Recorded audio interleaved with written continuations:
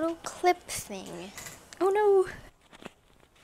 My desk at the moment is super messy because I had to do this activity for uh, stop motion and we were working with paper this week so there's just so much paper on my table and I'm not in the mood to like clean it up so we're on the floor today I'm gonna show you this it's not a massage thing it's just a box I use to store washi tape I've been trying to organize them better I guess, put them in these thingies. I don't have the space to really display them in a nice way.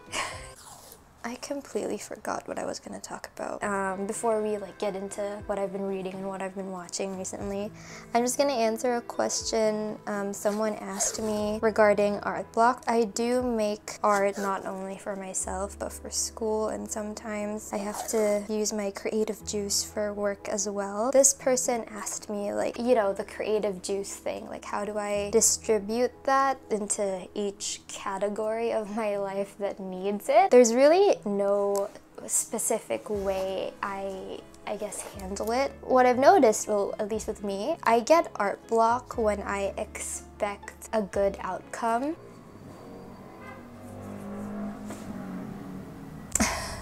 so when it doesn't go my way, I kind of like I fall deeper into the art block. I don't have like really any specific tips. I just kind of go through it, like let it happen. I know that sounds kind of weird. I try to do other things that help stimulate my creativity without drawing. Hold on. What washi tape should I do next? I'm not sure. Hmm.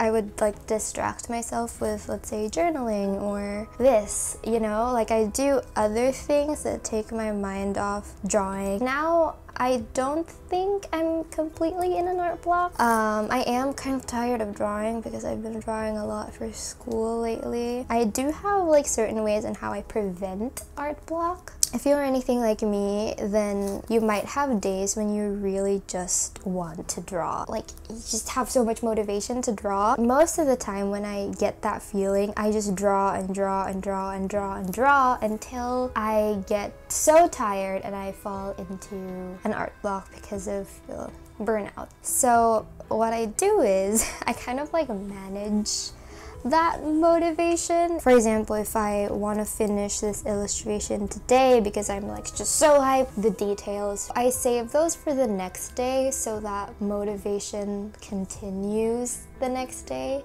You know what I mean? Does, does that make any sense? I'm hoping I answered your question. Things I've been reading. Um, I haven't read a single book since um, the last time I mentioned a book. I'm in a reading slump if it's not obvious. These cars! I've been reading a lot of mangas though with titles that I have no idea how to pronounce. Actually, all of them were recommended by you guys. Um, some of them were from Instagram and some of them were from the comments of old videos. Um, one of them is Level 999 something something. I'm gonna put it on screen because I do not know how to pronounce it. It's a little spicy though, which I like. Like it's not too spicy, but it's just just spicy enough. Act Like You Love Me. It's about this really handsome celebrity whose life is controlled by this teddy bear. But anyway, a girl gets her hands on this teddy bear and she, for some reason, ends up becoming his manager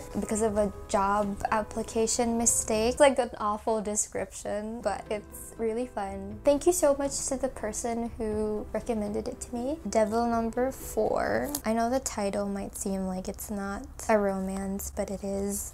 Um, my best friend told me to read this. It has like so many chapters, which is great because it's done. I just can't stand waiting for new chapters and new episodes of things. That's mainly why I haven't watched um, Spy X Family, Spy Family. Um, I think that's all I read. Most of my days have been occupied by a K-drama called Hospital Playlist.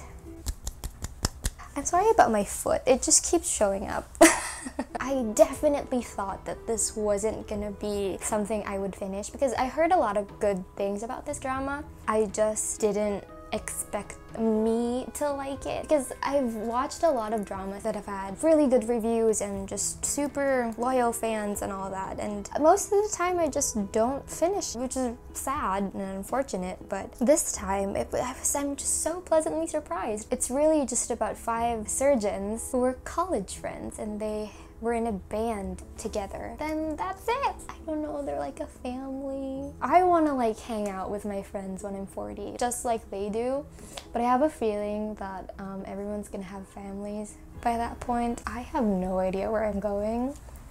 So, oh my goodness, I watched Everything Everywhere All at Once. It's such a good movie. It's so weird, first of all, and it's so confusing if you don't know anything about it. It's so metaphorical. The story or the message at its core might be cheesy. It's great and I cried a lot. I don't really want to talk about what the movie's all about because I feel like it's good to go into it not really knowing anything. Oh, I watched Love is Hard for Otaku. I think that's what it's called. It has like 12 episodes. It's super short. It's a shojo. It's about just otaku co-workers. I watched Love, Death, and Robots or Love, Death, Robots. Not everything because if you didn't know, every episode of Love, Death, Robots has like a different storyline. They're just short films compiled into a series, I guess. Kind of like Black Mirror, but shorter and animated. I just want to talk about like that last one from the latest season because one of my friends, you might know him if you're an artist, he just kept talking about it. I was like, okay, I'm gonna watch it. I liked it, yes, because it's art and